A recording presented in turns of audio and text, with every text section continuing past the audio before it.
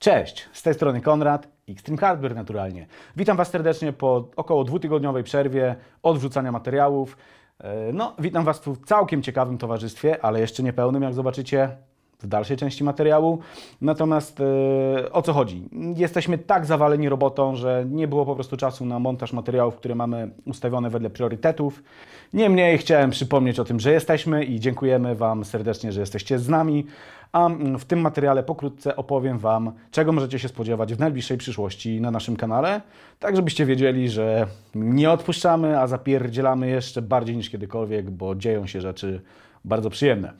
Słuchajcie, e, jak widzicie tutaj dwa razy RTX 2080 Ti, jeden z, e, ze złotym backplate'em, akurat do projektu Helios, nad którym teraz bardzo konkretnie pracujemy, a jest to projekt e, taki, którego jeszcze nie widzieliście na naszym kanale. Zobaczycie naprawdę ciekawe modyfikacje. No, ja bym się z Wami już teraz wszystkim podzielił, ale poczekajcie, bo uff, jest na co czekać. Mm, Backplate złocony specjalnie dla nas na zamówienie, tak żeby pasowało to wszystko do złączek. E, I stwierdziłem, że akurat z racji tego, że Helios będzie mm, komputerem z bardzo wydajnym custom loopem, natomiast w konfiguracji single loop, będzie, będą w nim dwa razy RTX 2080 Ti oraz i9 109080XE, mm, zobaczycie materiał, jak działa mm, taka konfiguracja na single loopie z dwoma pompami D5. Także z tej okazji te karty tutaj stoją przed Wami. Kolejna sprawa. RTX 2080 Ti Extreme. Stwierdziłem, że zrobię test na karcie, która ma fabryczny BIOS pozwalający do rozpędzenia jej e, do granic poboru około 375-380 W, gdzie to chłodzenie nie ma najmniejszych szans ujarzmić tej karty mm, na wykorzystaniu, albo inaczej, gdzie to chłodzenie nie ma najmniejszych szans, by ujarzmić tą kartę, nawet nie da e, tak naprawdę rady wykorzystać 80% potencjału tej konstrukcji. To jest naprawdę dowolona sekcja, jedna z lepszych autorskich produkcji na rynku, natomiast no, to chłodzenie po prostu nie jest w stanie tej karty okiełznać. Także generalnie to jest, można powiedzieć, karta e, dla osób, które chcą wodować, Mm, Oczywiście jest e, również jej wersja z blokiem wodnym, natomiast ja osobiście nie lubię, kiedy mi się narzuca jakiś design, więc zobaczycie testy na akurat EK Vector Quantum dla RTX 2080 Ti Aorus Extreme, czyli dokładnie dla tej wersji. Z e, termopadami Gelida, to są Gelidy, Gelidy 15, także bardzo wydajne termopady. Także tutaj mm, ta karta dostanie te termopady. I teraz tak, zobaczycie przyrost możliwości overclockingu oraz wydajności na tej karcie w konfiguracji powietrznej versus konfiguracja LC. I to nie wszystko, jeśli chodzi naturalnie o LC. E, Dodatkowo zobaczycie w naszych materiałach konkretne testy mm, EK Quantum Magnitude, także to jest akurat wersja na LGA 2066, czyli na X299. Mm, Blok, no naprawdę powiem szczerze, konkretny. Zamówiłem go do swojego konfigu. Również zobaczycie e, w konfigu Henschel King Tiger, do którego się przygotowujemy. Ten konfig będziemy budowali po mm, Heliosie. No i powiem szczerze, że blok jest fenomenalny. Zauważyłem duże różnice e, względem EK Velocity, który też jest jednym z lepszych bloków. Natomiast e, czego możecie się spodziewać? Zobaczycie materiał z tym blokiem w konfiguracji standardowej oraz z tym blokiem w konfiguracji z mm, tak zwanym flat plate, czyli płaska płytka, wymienny spód bloku, po to, żeby dobrze dopasować go do procesorów z customowymi IHS-ami, bądź też procesorów, e, na których mm, przeprowadziło się lapping. Także to jeszcze pozwoli zbić temperatury. Ile? Zobaczymy. Będę to dotestować na benchtablu, e, na moim selekcie i9-7980XE, rekordziście, czempionie. Także zanim e, stworzę swojego kompa, Gantritora przemianowuję na Devastator, najprawdopodobniej to taki test się pojawi, bo wybiorę sobie po prostu optymalniejszą możliwość, e, parę różnych konfiguracji tutaj z tym blokiem, a daje wiele możliwości modyfikowania w zakresie e, jego konstrukcji, także zobaczycie, no myślę, ciekawe rzeczy. I jeszcze e, ważna kwestia. Zobaczycie również testy i9 7980XE Selecta versus i9 109080XE. Mm, chciałem powiedzieć randomowy ze sklepu, natomiast biorąc pod uwagę, że szukaliśmy tego, to jest właśnie procek do Heliosa, biorąc pod uwagę, że szukaliśmy wraz z naszym widzem, któremu Heliosa buduje, budujemy, em, tego procka na całym świecie i dwie sztuki znalazły się, jak e, okazało, w Wietnamie i to właśnie widz je znalazł, także gratulacje detektywistycznych umiejętności.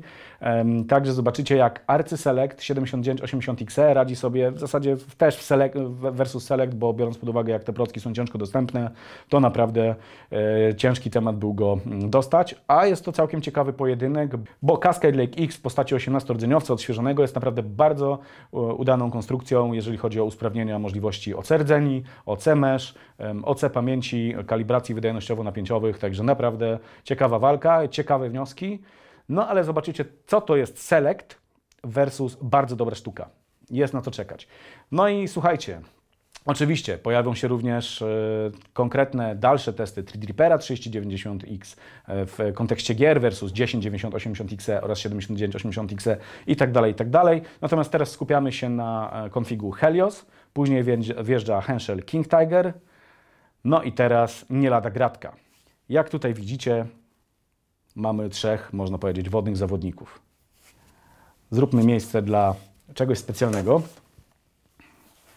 Odłożę bloczek w bezpieczne miejsce. Tą kartę postawię gdzieś z dala. Karta R versus LC w wypadku Arusa Extreme 2080 Ti z dedykowanym blokiem. Takiego testu się możecie spodziewać. Natomiast bohater, który zamieszka w Henschel King Tigerze. Galax RTX 2080 Ti HOF Anniversary Edition. Także karta do bicia rekordów, e, karta, która mm, standardowo wyposażona jest w naprawdę bardzo rozbudowane chłodzenie powietrzne i posiada zintegrowany blok, który czeka tylko na to, żeby napełnić go cieczą. Także w Henschel King Tigerze ten potwór zamieszka. Jest to e, karta unikalna na skalę światową, bardzo rzadka i ciężko dostępna. E, ograniczona liczba sztuk na świat została wyprodukowana.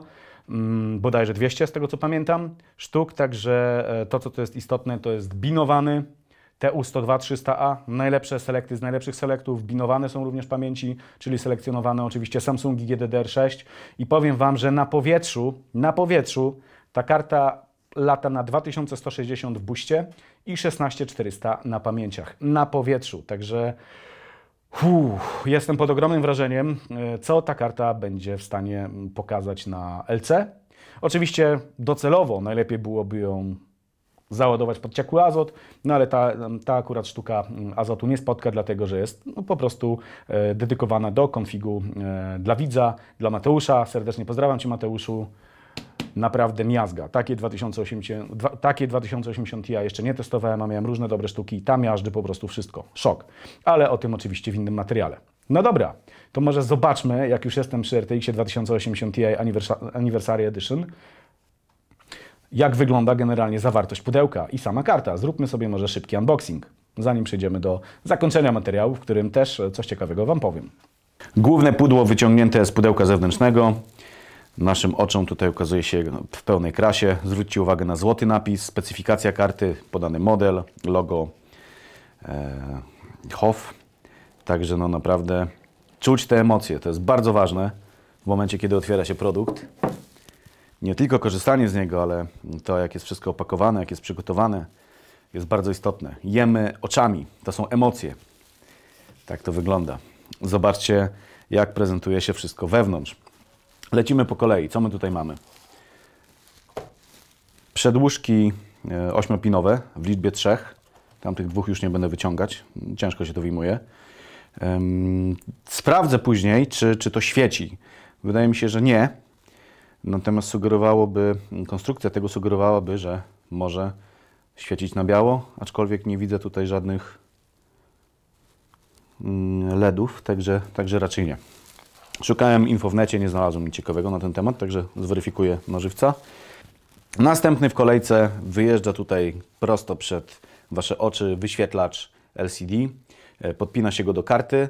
I co on nam pokazuje? Otóż wersje sterowników, taktowanie rdzenia, taktowanie pamięci, napięcie, mm, logo HOF, e, dodatkowo specyfikację karty, pokazuje również temperaturę, jak i mm, obroty wentylatora. Nie pokazuje poboru akurat karty, co jest ciekawe, ale dlaczego tak jest, opowiem Wam w innym materiale, bo chcę ten temat zweryfikować, zbadać. Mm, akurat pobór tej karty, jeżeli chodzi o pobór prądu, e, według mnie jest zaniżony o jakieś 200 W w softach i podejrzewam, że jest to ze strony Galaxa obejście, żeby Nvidia się nie przypierniczyła. Bo jakby nagle zobaczyli, e, że karta lata z TDP z poborem 450 W, dokładnie, jeśli się wykręci na standardowym BIOSie, standardowy BIOS ma limit od 400 do 450 W, minimum 100, na DEFie 400, e, po podniesieniu power limitu 450, ale są również odblokowane BIOSy, na przykład BIOS pod ciekły azot, pozwalający nam na limit 2000 W. 2000 W, także szaleństwo. Oczywiście bez ciekłego azotu yy, wrzucenie takiego BIOSu i zabawa z OC skończy się szybko zabiciem karty. Także tutaj taka informacja, nie będziemy tego robić. Natomiast yy, chciałem Wam przekazać, jakie są możliwości tej karty, tej sekcji i tego, co ona potrafi. No ale o tym w innym materiale. Dobra, lecimy dalej. Tutaj mamy element wspornika, dlatego że karta swoje waży. Jest to wspornik akurat, który powstał przy współpracy z Cooler Masterem. Piękne logo Hof, naprawdę przyjemna jakość wykonania. No, czuć, czuć, że to jest mm, konkret. Produkt naprawdę wysokiej klasy. Odłożymy. No i uwaga, rękawiczki antystatyczne. Także też ciekawy motyw.